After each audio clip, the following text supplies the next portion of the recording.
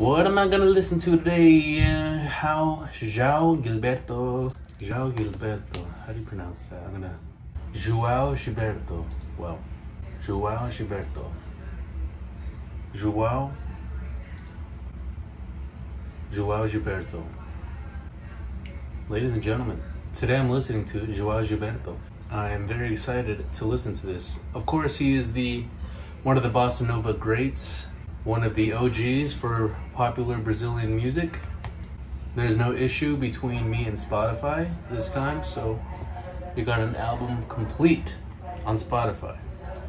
For Brazilian music, it is a rare, a rare pleasure for me to be able to listen to this in its full length.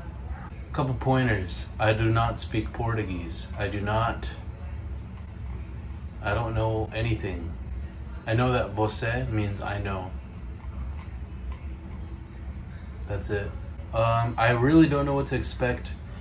I the last album that I heard from Joao is all the way back to 1964 with his collaboration with Stan Getz, um, another bossa nova or a jazz legend. What else can I say about him? I mean, just a really very prolific figure in Brazilian music.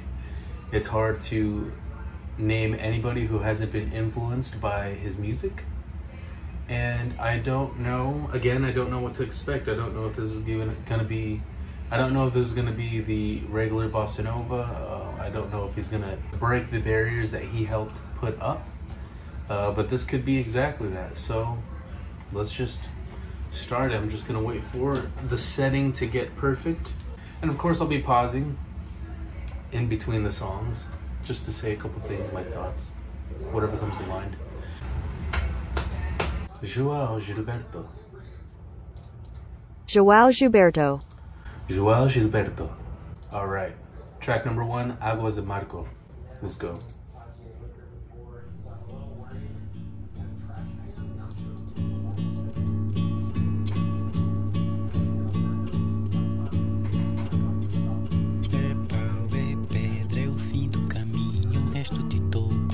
Sozinho.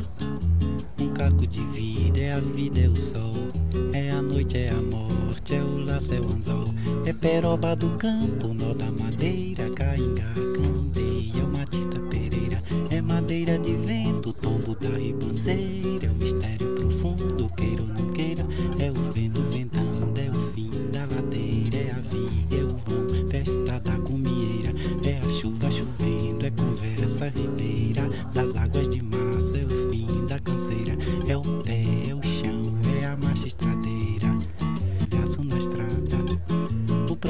da casa, o corpo na cama, o carro enguiçado. É a lama, é a lama, caco de vidro, é a vida, é o sol.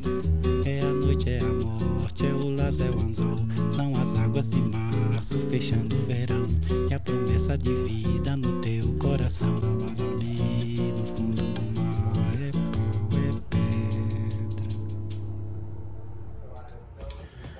All right. So I didn't want to pause the song because I felt like there wasn't uh, exactly a good break for me to do that. But that song was really relaxing. Um, not exactly what I expected. Um, not to hate on it, but it's somewhat more of the same of what he did back when he was coming up, uh, back his, his earlier albums. But I am noticing now the influence.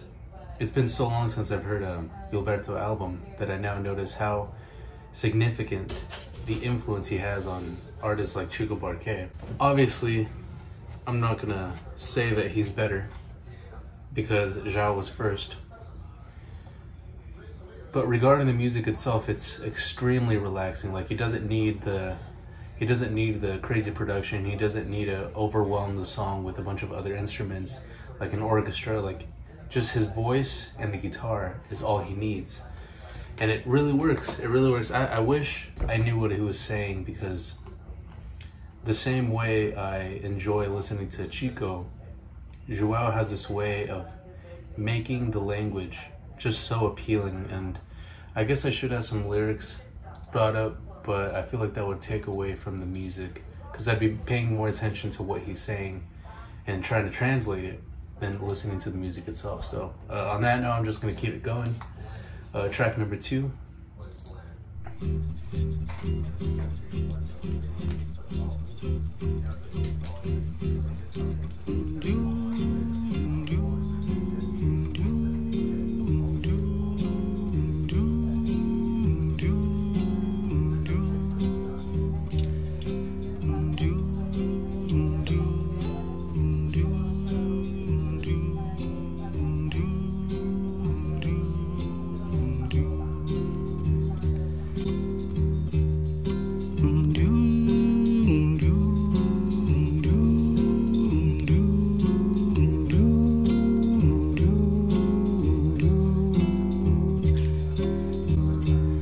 So I'm gonna pause it right there just because I can kind of get the hint that this is just gonna be an instrumental track. But it really shows the minimalist style that he's going for on this one. He's not depending on anything else besides his guitar and his voice.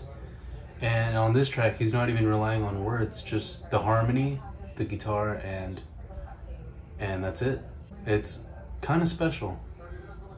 I can feel that this is something special because I couldn't I couldn't tell if it was repetitive. The melody that he's doing with his voice is repetitive, but the guitar is sort of changing constantly. And I'm sort of it's hard to follow at first, but the more I listen to it, I'm kind of getting more appreciation for the the odd moments and the odd directions that he's taking with those notes. So I'm gonna just uh, finish it up. There's about a minute left in it.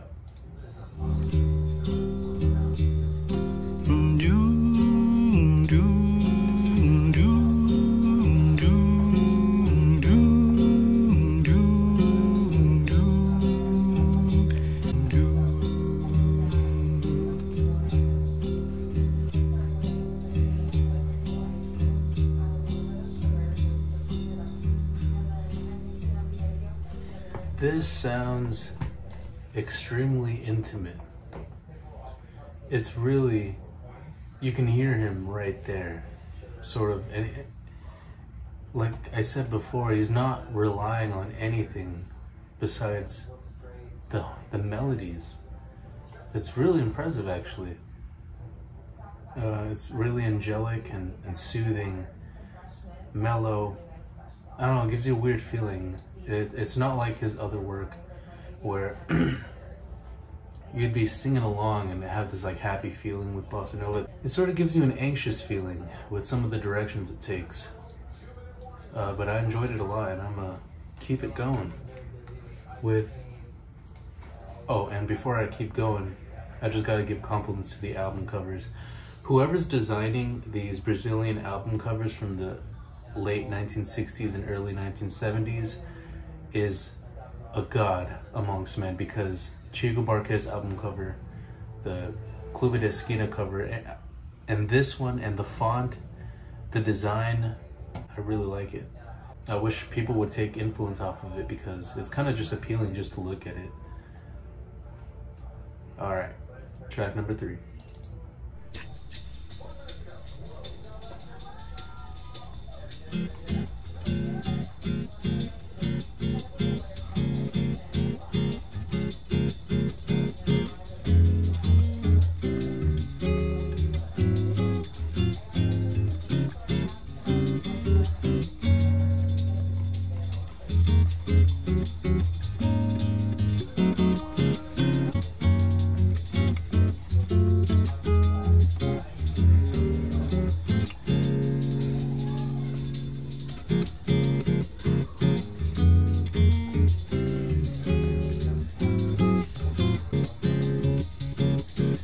I see. Okay, I kind of, I was right. So I can tell so far that he's going for the most minimal approach to bossa nova music, almost as if he's sending himself off from music in the future. I mean, I don't know. I don't know if it comes out with anything else after this, but it's just so it, it's really dedicated to the genre of bossa nova because he's not trying to push the boundaries. He's just doing what he does best and doing it so intimately. Sort of like, I hate to make this comparison, especially to an artist who's completely different, but somewhat similar as Nick Drake on Pink Moon. he really just tried to cut everything down and show off his talent and his passion onto just his voice and his guitar. And I don't know if I don't I don't know if Joao had any idea of Nick Drake's existence or if Nick Drake or vice versa, but the similarities are remarkable. Almost like it's used for like meditative purposes, like to reflect back on the genre of bossa nova. I don't know.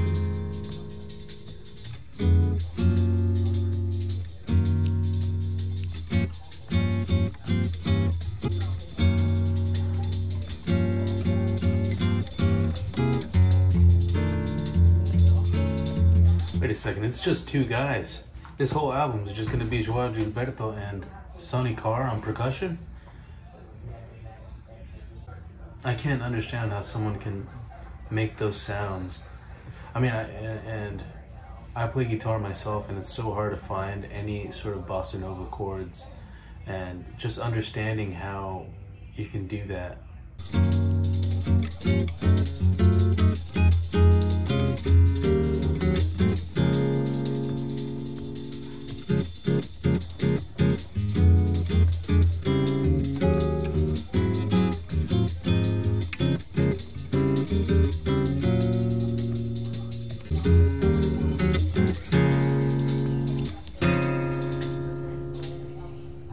Was so good. Man, it, it's really heightening my appreciation for the genre more than fucking Chico Buarque's album did and so many others. And I think that's what he intended. I, I I'm assuming that's what he intended on this is to really show people what his intention was like give people the feeling that he got with these chords, with these melodies, with this genre. This is it's his trademark. He practically owns it, and he's showing you it in the most primitive, of, the most stripped down version of it on an album that's just him and somebody else. I can't think of another of a greater way to show everybody what what bossa nova means from the guy who practically skyrocketed it from the ground. Cada palmeira na estrada tem uma moça recostada. Uma é minha namorada e essa estrada vai dar no mar. Eu e minha namorada vamos andando na estrada que vai dar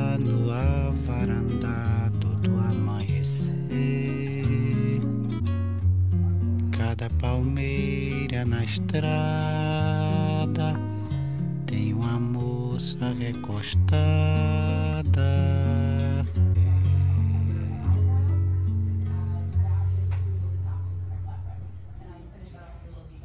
Holy crap. It doesn't seem right to just be listening to us. Listening to it and trying to talk about it isn't enough. It's it's just beautiful.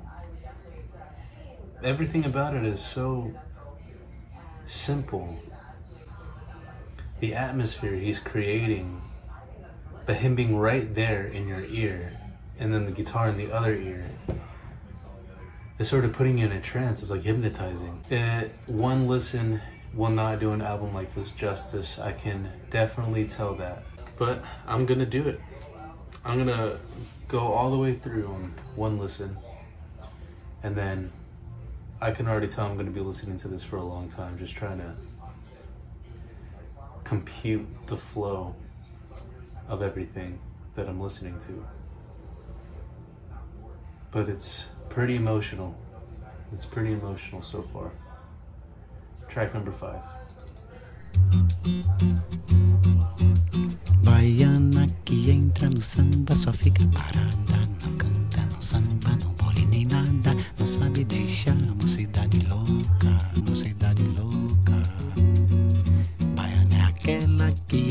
no samba de qualquer maneira que mexe, remexe, dando nas cadeiras e deixa a moçada com água na boca. Peitinho de cima e embaixo e vira os olhinhos e diz eu sou filha de São Salvador. Baiana que entra no samba só fica parada, não canta, não samba, não bole nem nada, não sabe deixar uma cidade louca. A falsa baiana. He's singing like he's not trying to wake you up. he's singing like he's putting you to sleep and he's trying his hardest not to wake you up or disturb your sleep. Like, uh, in other words, hypnotizing. It's really, really trancing. Very intimate. Entra no samba, ninguém se incomoda, ninguém bate palma, ninguém abre a roda, ninguém grita oba, salve a Bahia, senhor. Mas a gente gosta quando uma. Meanwhile, the song is pretty fast paced. I mean, it's not too fast paced, but uh, compared to the other songs on the album so far, it's it's got an upbeat, an uppity beat, and yet makes it sleepy. Na direitinho de cima.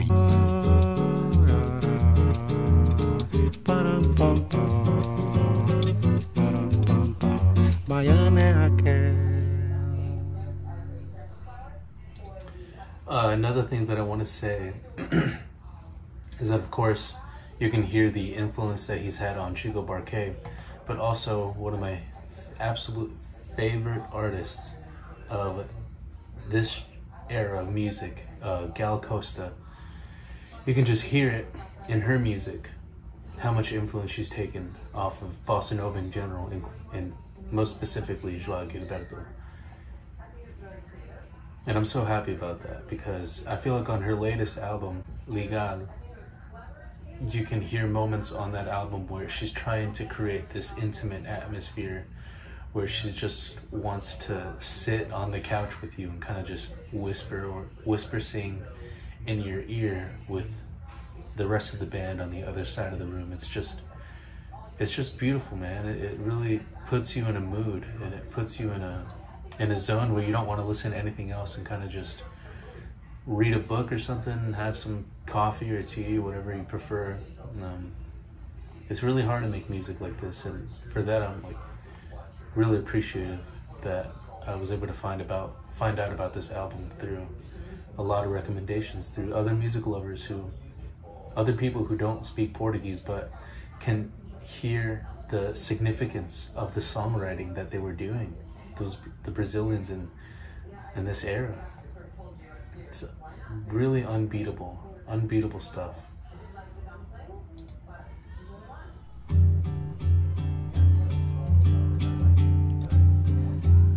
Eu quero um samba feito só pra mim acabar, virar, espalhar. Eu quero a melodia feita assim. Quero samba, quero samba, quero samba porque no samba eu sei que vou me acabar, me virar, me espalhar. A noite inteira até o sol. Also, just want to point out, I recently came back from a trip to Mexico, Tulum, and now I'm really regretting not starting this channel beforehand because I think I would have made it just in time for me to listen to this album while I was over there. And if I if that had been the case, I think my trip would have just had a little extra cherry on top because this listening to this just kind of puts you in that scenery and that on the beach, warm weather with a cocktail in your hand. Uh, so damn, that really sucks. Jeb, jeb, jeb, jeb, zuyubi bansa sansa zanyan. Pom pom yorororo, zuyu.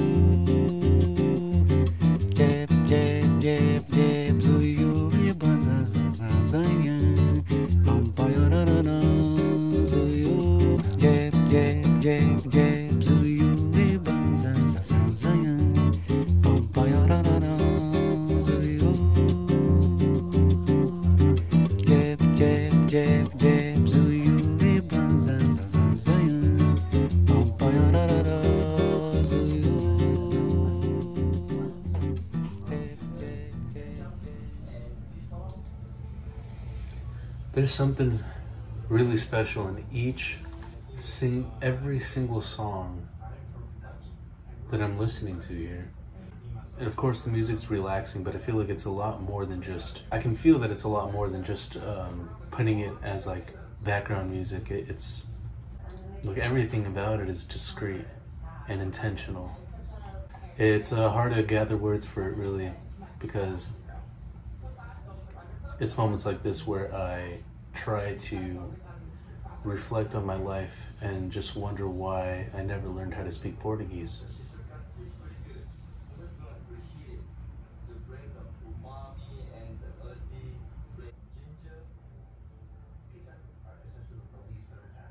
Eu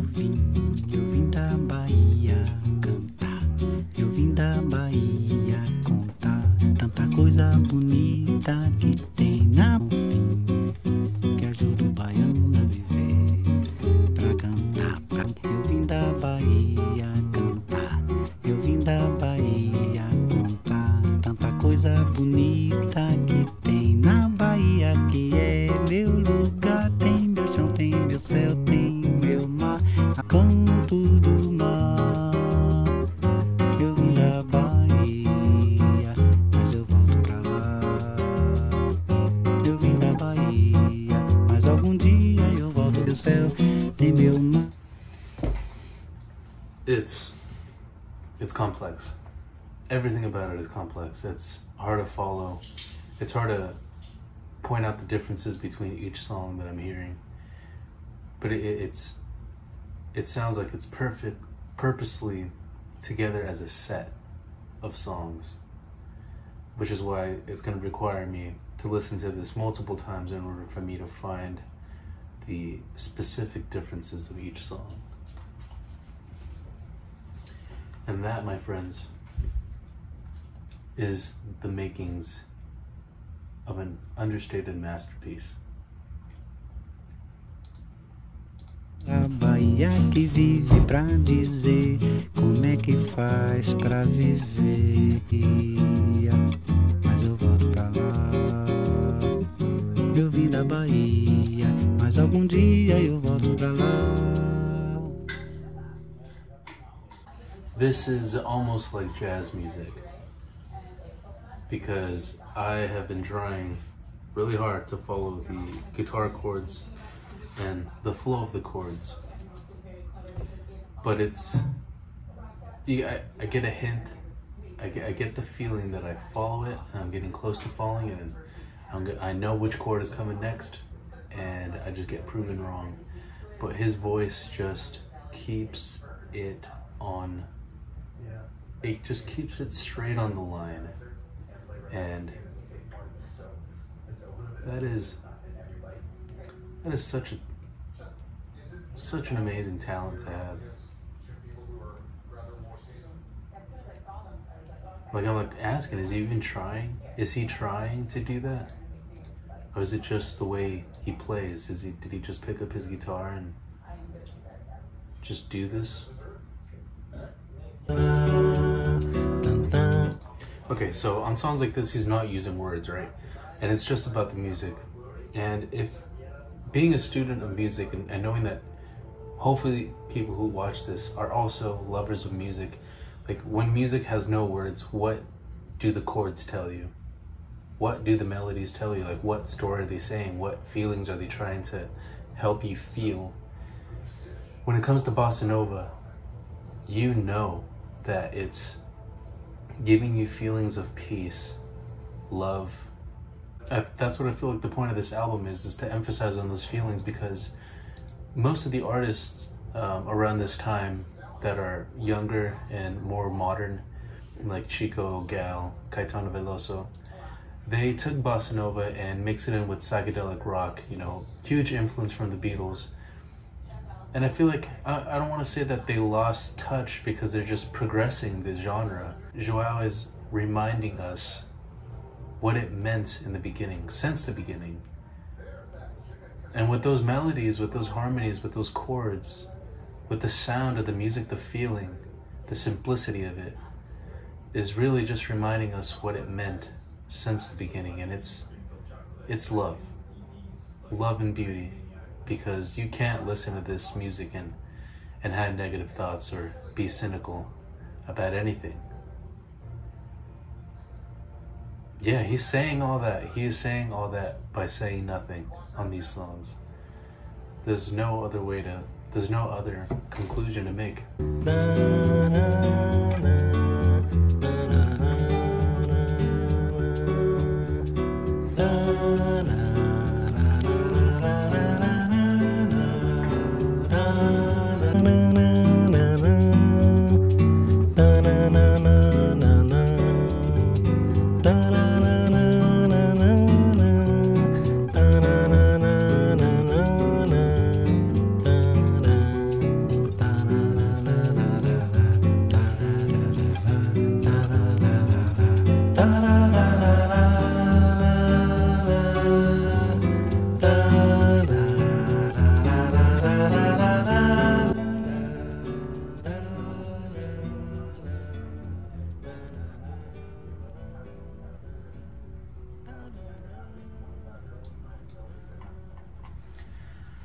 Oh man, all right. We got two more tracks left. Track number nine.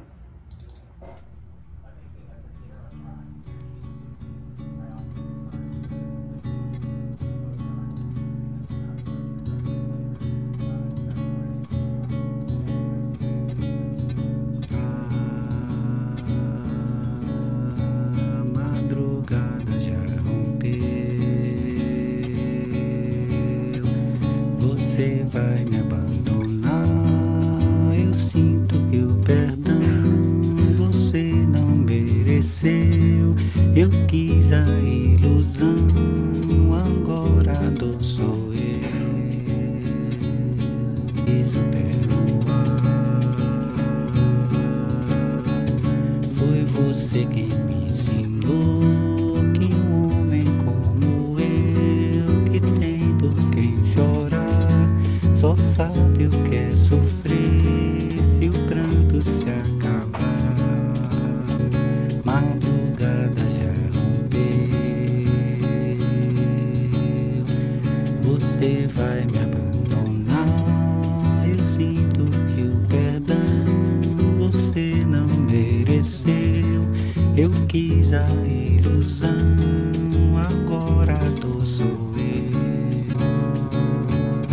Fuck yes.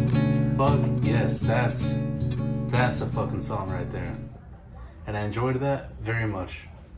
I feel like I could really tell where that was going and sort of predicted. So I, that was the poppiest song out of the whole record so far. And uh, there's only one left, which kind of sucks because I was really enjoying this. But I'm gonna keep listening to this even way after this video is uploaded. I was gonna say something, I forgot what it was.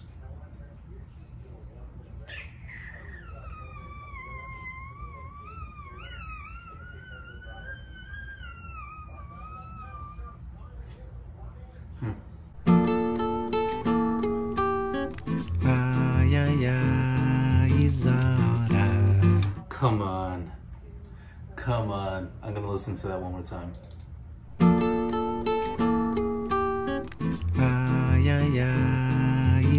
It's those intros, man. It's those fucking intros.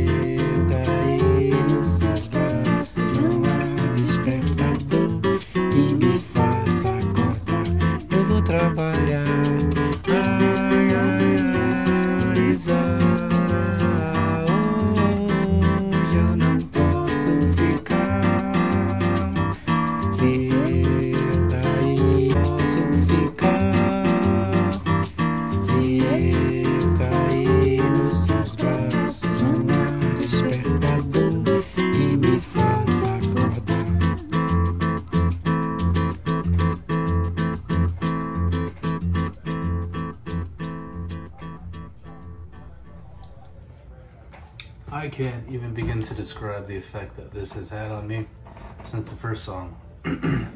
Just want to say thank you, thank you, thank you so much, RYM, for hyping this album as much as they did because it definitely deserved it and it definitely, definitely lived up to it. It's, it's a fucking masterpiece. And the whole album is basically two dudes. Just shows how much passion these two dudes had into making this, particularly Ju- uh, That shit is fucking trash, dog. Get the fuck off the I mean, he's the master. He- I'm at peace. I really am. That's that's what this album did for me. Is just put me at peace. So thank you and good night.